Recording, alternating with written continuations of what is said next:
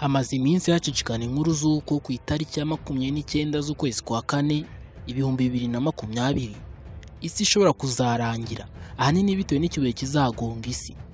Nyamara nubwo abenshi babivuga bakanabikwirakwiza abenshi ubabaje aho bashingira babyemeza biragoranye ko hari n'umwe waguha ikimenyetso gifatika.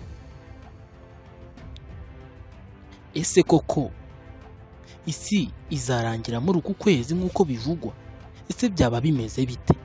Dore ko tugihanganye n'iyi ndwara ya korona virusi ese iby'iki kibuye byaba ari ukuri cyangwa byaba ari ikinyoma?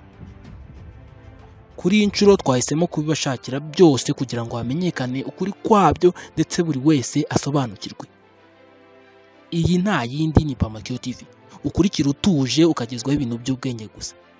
Nawe niba uri mushya uhawe ikaze rwose. Ndetse ushobora gukora subscribe mu gihe cyose bitakugoye. Maze ugakomeza ukagerwaho na videwo z'ubwenge zicukumbuye zikoranye ubwenge kuri Pamakio TV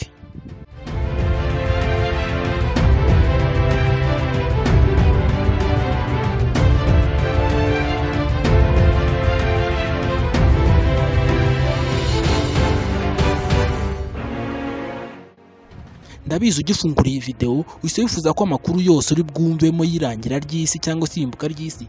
Byaba ari ikinyoma. Ko nta kuri kwaba kurimo kuko twese dukunda isi cyane cyane ku buryo tuba twumva tutayivaho.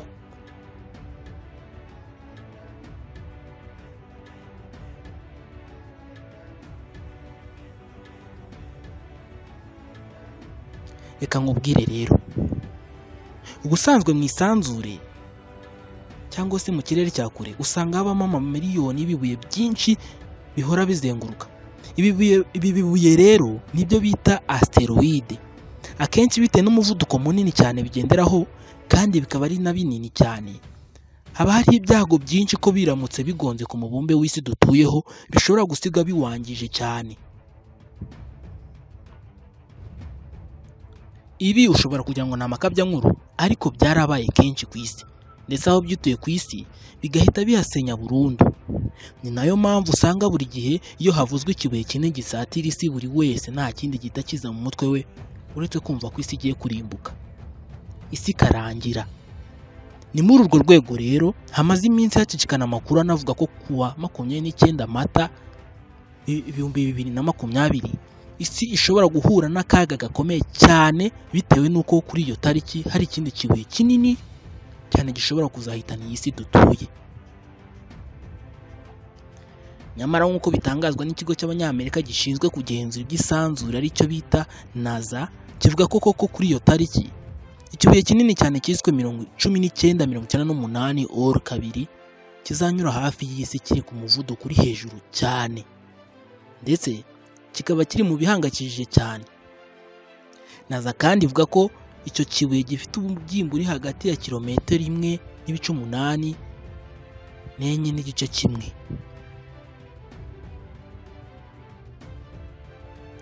Bakomeza ba- bavuga ko rero nubwo iki kibuye kizanyura hafi y'isi ugereranyije n'ibindi biheruka guhita ariko ko ariko ko iki na cyo nta kibazo kizateza ku isi bityo ko abantu batagakwiye kugira ubwoba na gake.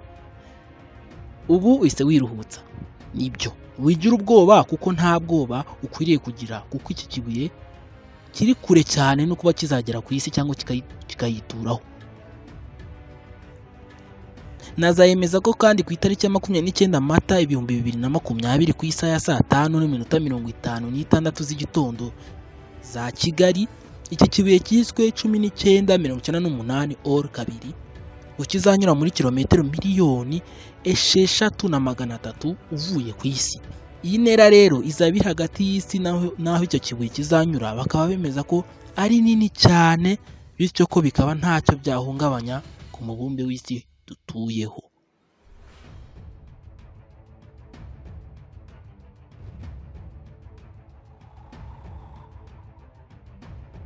Gusa bemeza ko ugereranyije n'ibindi bireka- biheruka guhita cyangwa bizahita nyuma y'iki iki ngiki ari cyo kizaba kiri hafi cyane kurusha ibindi byose. Ibi bikaba ari na yo mpamvu byateje abantu ururondogoro cyangwa ndetse n'ubwoba muri make. Naza ivuga ko impamvu iki kibuye cyashyizwe mu rwego rw'ibiteye inkeke atari uko kizagira ingaruka ku isi ahubwo bitewe n'uko cyuje ibisabwa ngo kijye muri icyo cyiciro. Bavuga ko kugira ngo ikibuye bavuge ko giteye inkeke ari igihe cyose intera kizanyuramo iba iri munsi ya kilometero miliyoni zirindwi na magana atanu uvuye ku isi.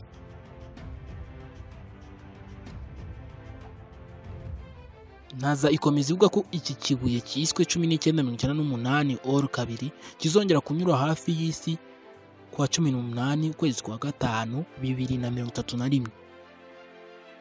Ariko icyo gihe kikazanyura kure cyane y'isi kuko ubwo kizanyura ku ntera ya kilometero cumi n'icyenda uvuye ku isi. Ndavuga kilometero miliyoni cumi n'icyenda. Hano bakomeza banavuga ko bitazaba birangiriye aho kuko kizongera kikanyura iruhande rw'isi muri bibiri na mirongo ine n'umunani ndetse no muri bibiri na mirongo itandatu na gatandatu na mirongo itandatu na kabiri. Ariko aho hose kikazahanyura kiri kure cyane cyane ya hariya twabonye mbere.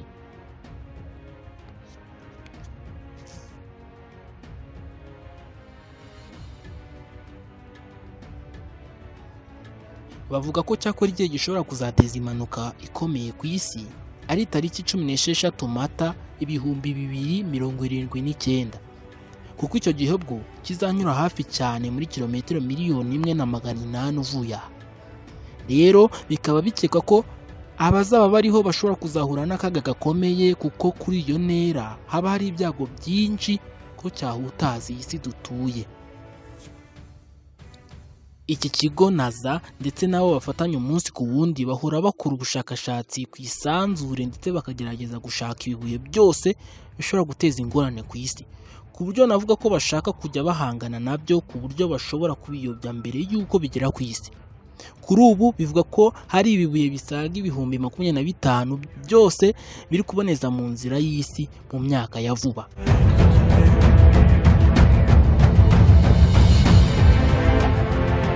Naho ubundi by'irangira ry'isi cyangwa se irimbuka ryayo si ubu bivuzwe kuko byahereye kera bivugwa.